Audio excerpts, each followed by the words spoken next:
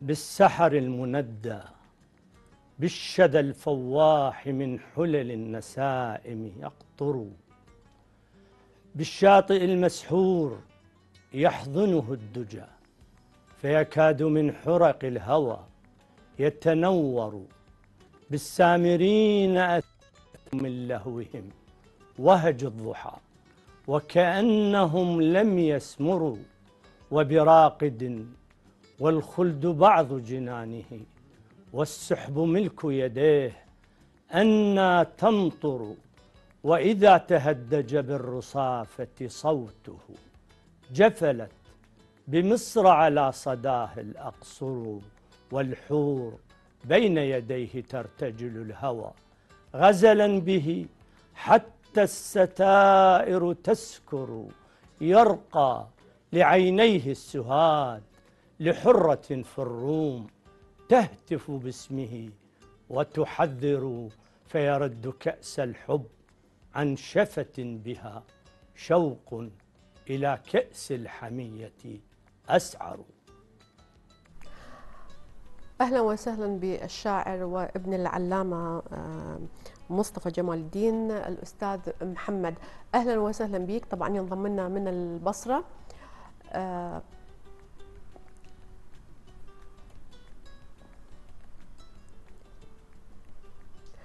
نتكلم عن رابطة مصطفى آه، جمال الدين هذا الرمز الوطني الكبير. آه، نتكلم عن هذه الرابطة. أنا أعرف أنه قبل فترة وجيزة كانت ذكرى وفاته فأنتم في كل سنة تعملون احتفالية واحتفاء هناك جمع آه، جميل من الشعراء والأدباء والكتاب في هذه الرابطة. آه، هي الرابطة تأسست أستاذ محمد 2014 لكن كان حفلها الأول في تونس والثاني في تونس نعم. وبعدين في مصر والدنمارك. لا. لا. آه، أولا السلام عليكم. عليكم السلام. أختنا العزيزة السيدة رقية. ومرحبا بقناة الشرقية وجمهورها. آه، رابطة مصطفى جمال الدين الأدبية نعم. أسست في 30 آذار 2014 في البصرة نعم. وليس في تونس. وإنما في تونس كان أحد مهرجاناتها التي أقامتها خارج العراق عام 2017 في تونس. هذا اللي ذكرته أنه كان مهرجانها الأول. تحتفل الرابطة بذكرى. نعم.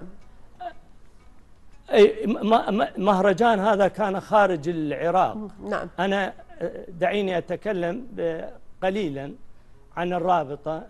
أسست الرابطة آه، في 30 30 آذار 2014 في البصرة. وحفل التأسيس انعقد آه، في 31 5 2014 في قاعة عتبة بن غزوان في البصرة بحضور وكيل وزير الثقافة آه، وجمع كبير من أدباء العراق وأدباء البصرة وبمشاركة شعراء وأدباء عراقيين كثيرين. واستمرت الرابطة بمنهجها الثقافي آه، الأسبوعي. في كل أمسية في مساء كل خميس هناك أمسية في الرابطة وتلونت مواضيع الرابطة ولكنها اختصرت على الأدب فقط. يعني في القصة والشعر والنقد والمسرح وكثير من الأمور اللي تتعلق بالمجال الأدبي. ورابطة كثر من البصرة وخارجها وكذلك من الضيوف العرب الذين يأتون إلى العراق آه، على هامش مهرجان المربد مثلا ومن العراقيين المقيمين خارج العراق حين مجيئهم إلى البصرة. تدعوهم الرابطة فأقامت أمسيات عديدة لهم.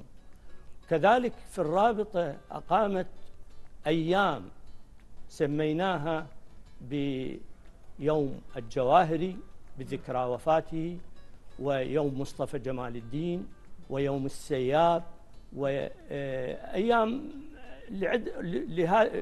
الرموز الأدبية العراقية وماشية الرابطة بهذا المنوال. آه، أما مهرجانات الرابطة التي أقامتها أقامت الرابطة مهرجانات عدة هنا داخل البصرة.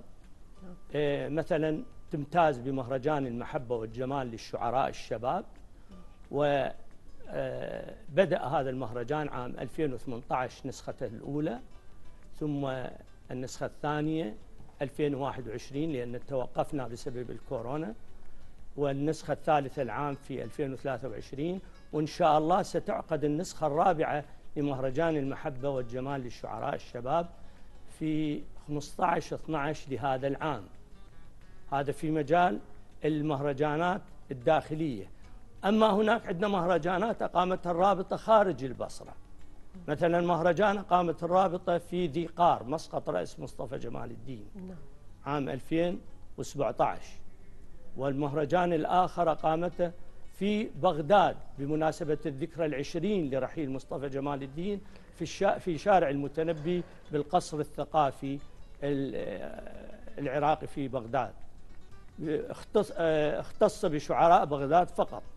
وأقامت الرابطة مهرجان لها في النجف الأشرف في المكتبة الأدبية المختصة بمناسبة تحرير الموصل عام 2017 كذلك. وهناك مهرجانات أقامتها الرابطة خارج حدود العراق في تونس مهرجانين عام 2017 في مدينة سيد بوزيد وفي 2018 في قليبيا وفي تونس العاصمة وكذلك آه، أقامت الرابطة في القاهرة.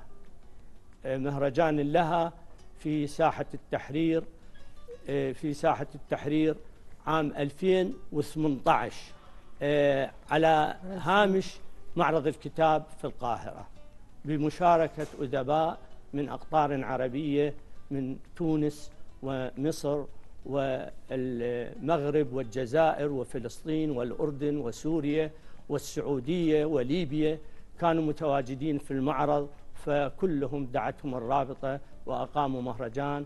آه، مع افتتاح مهرجان المربد آه، عام 2018 في البصرة بنفس الوقت. فسمي تحت شعار آه، مهرجان المربد عراقي في القاهرة. نعم. هذا ما أقامته الرابطة في القاهرة. وأقامت الرابطة عام 2019 مهرجانها خارج حدود الوطن العربي في الدنمارك. نعم. في كوبنهاجن تحت شعار من البصرة إلى كوبنهاجن ننشر المحبة والسلام وصادف ذلك في 15 2019 هاي المهرجانات التي أقامتها الرابطة. ممتاز.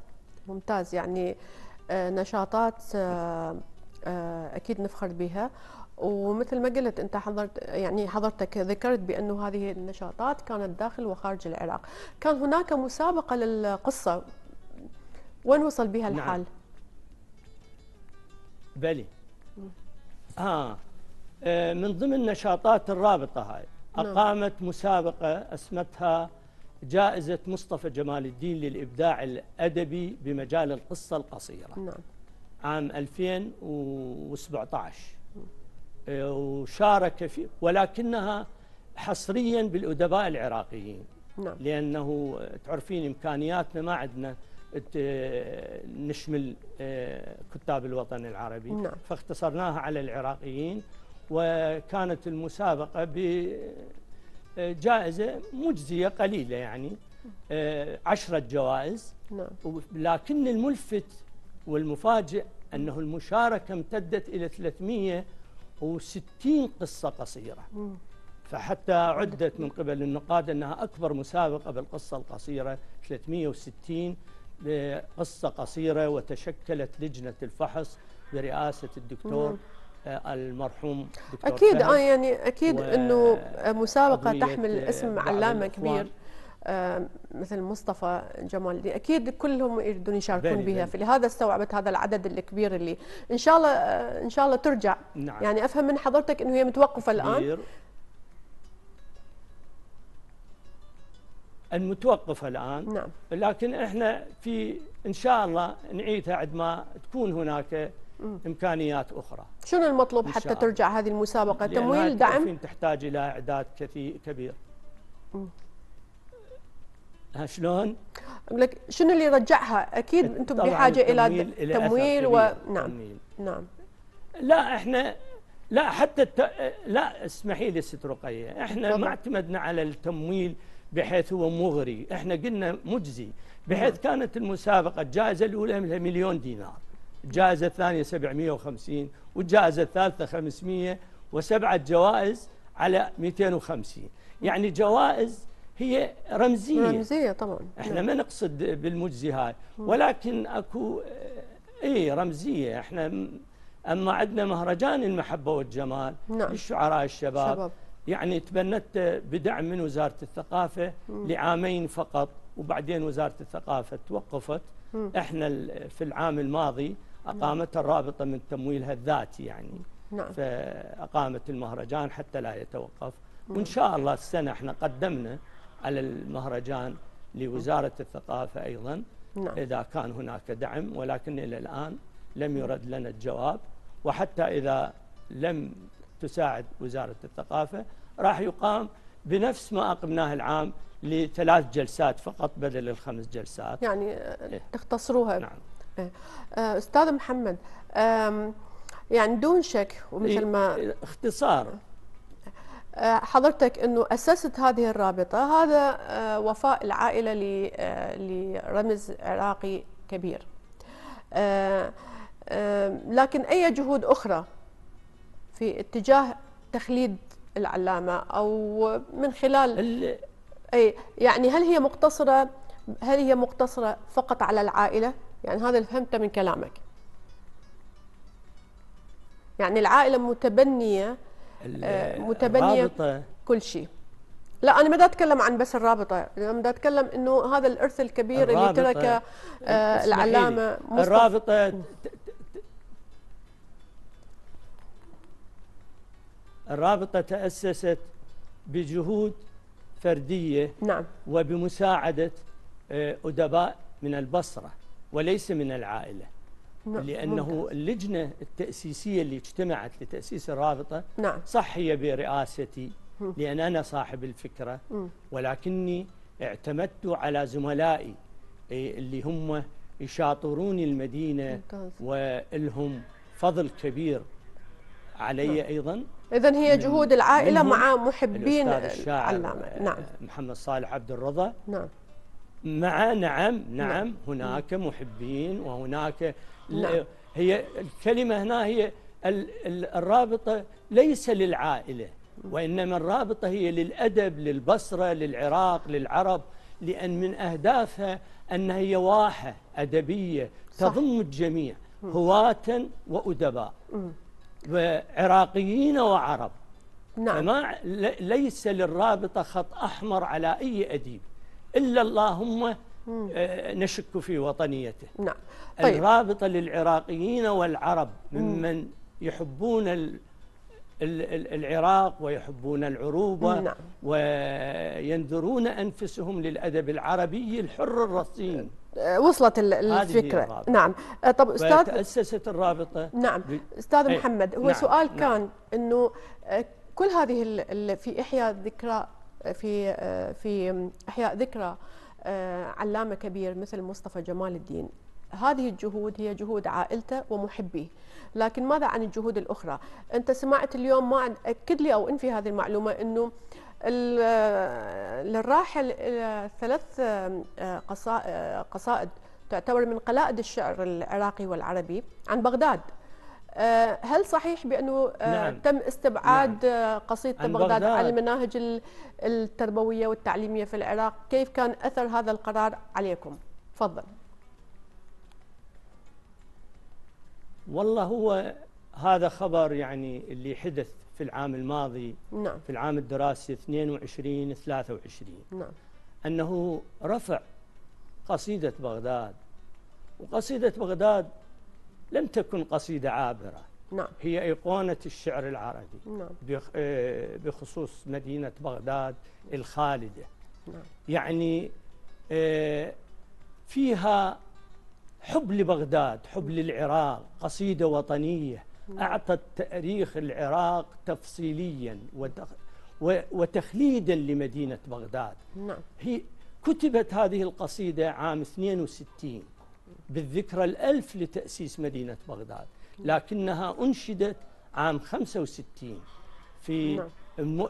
مؤتمر الأدباء العرب نعم. ومن ذلك التاريخ ولليوم أصبحت هي أيقونة نعم. ما في عراقي إلا وتجده يردد بغداد ما اشتبكت عليك الأعصر تصوري في طرقات بغداد. نعم. حتى في مطاعم بغداد مكتوب هذا بيت الشعر. نعم. في كل مكان. نعم. أنا شفت فيديو أنا شفت فيديو أستاذ محمد. شفت فيديو للسفير بريطانيا ببغداد يوم الشعر العالمي آه، هو آه، قال هاي القصيدة. طب خلينا نسمعها ونشوفها بلي. من العلامة الراحل بلي. مصطفى جمال الدين. وأرجع لك. أي نعم. يلا. بغداد ما اشتبكت عليك الأعصر.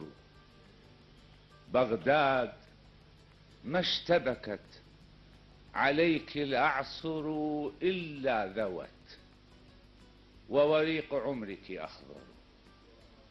بغداد ما اشتبكت عليك الأعصر إلا ذوت ووريق عمرك أخضر مرت بك الدنيا وصبحك مشمس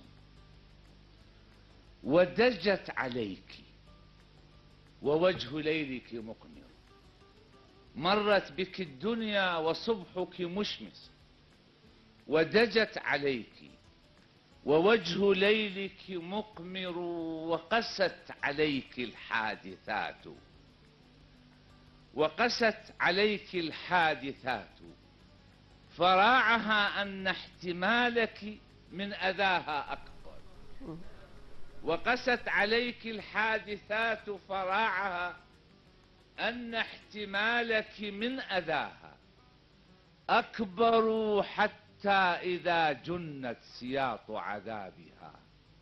راحت مواقعها الكريمة تسخر. اذا أستاذ محمد اذا يعني أنتم ضد استبعاد هذه القصيدة من المناهج صحيح هذه إحنا ست رقية نعم. ست رقية ست رقية ست رقية أنا ما أقدر أقول أنا ضد ما أقدر أقول أنا ضد نعم. وإنما هو الخبر لم يكن صادما للأسرة بقدر ما هو صادم للجهات الأدبية للجهات يعني استغربتوا من نعم. العلمية مم. لكل الوطنيين العراقيين صح. استغراب استغرب. لماذا ترفع قصيدة بغداد نعم. وبما استبدلت هي هاي المشكلة استبدلت بقصائد أقل منها مستوى قصيدة بغداد قصيدة خالدة أنا أتذكر في الذكرى الثانية عشر لرحيل مصطفى جمال الدين قمت حفلا بمناسبة الذكرى الثانية عشر لرحيله في دمشق وقتها آه، تمت دعوة شعراء عراقيين هناك وأقمنا المهرجان من ضمنهم المرحوم عبد الرزاق عبد الواحد وألقى قصيدة جار بها قصيدة بغداد نعم. فأخبرني أمام جمع أن مصطفى جمال الدين لم يترك لنا مجالا أن نتحدث عن بغداد لأنه استوفى بغداد بكل ما لديها. نعم. فجاراها هبها دعاءك فهي لا تتذكر. من فرط ما اشتبكت عليها الأعصر. فقصيدة بغداد نعم. هي آه، يعني أقدر أقول لك يعني هي في قلوب كل العراقيين. آه، بقت أو لم تبقى لكنها المفاجئ لماذا ترفع؟ نعم. هي هذا. وليش لا ت... ولماذا لا تعاد؟ نعم. شنو ال... شنو الضير؟ نعم. يعني هذا إحنا نقول وزارة التربية المفروض آه تغرز في الأجيال حب ال... ال... الوطنية من الشعر الرصين اللي يتغنى في بغداد والعراق. ما أعرف الأسباب ما وراء ذلك. إحنا مثلك هم نستغرب. آه طيب آه، ماذا عن قصيدة بغداد؟ وضع لها آه، الراحل. نعم. اسمحي لي اسمحي لي اسمحي لي. اسمحي لي ست رقية. قصيدة بغداد ال ال الراحل محمد غني حكمت هذا شيخ النحاتين. نعم. هو ادخلي على اليوتيوب يقول في زيارة لي إلى سوريا ذهبنا لزيارة السيدة زينب. لقبر الجواهري وقبر السيد مصطفى جمال الدين. نعم. وفوجئت أني على واجهة ضريح المجد لمصطفى جمال الدين مطلع قصيدة بغداد. شفتها؟ فوقفت برهة شفتها على اليوتيوب. عاهدت مصطفى جمال الدين نعم. أن أعمل منها نصبا تذكاريا في بغداد. الآن هي على دجلة نعم. مقابل مدينة الطب وسميت الساحة باسم مصطفى جمال الدين. موجودة. نعم. فما أعرف بعد وزارة التربية شنو العذر اللي لم يوضحوا الأسباب. آه، ماذا عن مقتنيات آه، بيت آه، تعرف إنه في كل الدول العربية والعالمية تحتفي بكتابها وأدبائها والقامات الشعرية آه، وهكذا رموز مثل العلامة مصطفى إنه البيت يتحول إلى آه، متحف في يعني متعلقات مقتنيات فهل أكو خطوة بهذا الاتجاه؟ هل تشوفها ممكن تتحقق أم صعبة؟ حابه أعرف رأيك. وال آه ست رقية هذا ال- الشيء أتذكر في مهرجان عالم الشعر نعم. في النجف. آه، قبل سنوات لا أذكر بالعام بس من كان محافظ النجف ال- الأخ الزرفي كان وقتها. طلب مني أن أقابله في بيته ليلا. جاءني تليفون. ذهبت. فسألني أنه أنتم ليش معارضين نقل رفات مصطفى جمال الدين؟ لأن هو قبل أيام أعلن أنه ننقل رفات مصطفى جمال الدين من دمشق إلى النجف. نعم. وصار بها لغط وكلام كثير. وأن الأسرة معارضة على الشيء هذا. نعم. فأنا بوقتها أخبرته أنه ولماذا نقل رفات مصطفى جمال الدين؟ هذا يكلف مبالغ كثيرة وبتدخل خارجي. هل توافق سوريا أو لا توافق؟ الخارجية السورية والعراقية ومكلف. لكن أكو بديل لذلك. قال وما هو؟ قلت له بيت مصطفى جمال الدين الآن بالنجف موجود. 600 متر مربع. نعم. ولديه مكتبة كبيرة فيها صنوف الكتب. نعم. فبالإمكان أن تحول هذا البيت إلى مركز ثقافي باسم مصطفى جمال الدين. نعم. ونحن نهتم بذلك ونساعدكم ونهديكم مكتبة مصطفى جمال الدين. فيديوية وكتب نعم. ومقتنياته و- لكن وقتها قال هذا أيضا مكلف. وانتهت القضية من ذلك التاريخ. ولما طرحت الفكرة أنا على أمانة العاصمة بوقتها من كان لقاء مع الأخ وقتها الأستاذ عبعوب في كان أمين عاصمة. نعم. قال لو كان بيت مصطفى جمال الدين في بغداد كنا أخذناه مثل ما أخذ يعني اشترينا بيت الجواهري لكنه في محافظة أخرى. هنا بيت السياب في البصرة نعم. آه، محافظة البصرة تبنت إعادة ترميمه وإن كان لم يكن ذلك الترميم ال- نعم إيه، تحدثنا لا. يعني تناولنا هذا الموضوع من قبل بالظهيرة نعم. إيه بلي بلي. إذا هي الفكرة قائمة لكن وفي, لم وفي تنفذ. الناصرية نعم. أ- لم تنفذ لأنه شرحت آه، حضرتك هذا الشيء. القرار. نعم. يبدو أنه إيه توضحت ال- الفكرة. يعني حتى في الناصرية ذكر كان أحد المحافظين. نعم. إيه. وعنده بيت بالناصرية يعني الفكرة كانت أيضا مطروحة ببيته بالناصرية أفهم من كلامك؟ بالناصرية بالناصرية الفكرة كانت موجودة من كان أحد المحافظين ابن ابن رجل دين الشيخ نسيت اسمه حتى راح من بالي. ال- المهم آه، الفكرة طرحت آه، أيضا. نعم. آه، طرقنا على هالموضوع وضربت له مثل ببيت الجواهري وبيت السياف في البصرة و لكن أيضا توقف العمل بذلك. نعم. لم يستجب.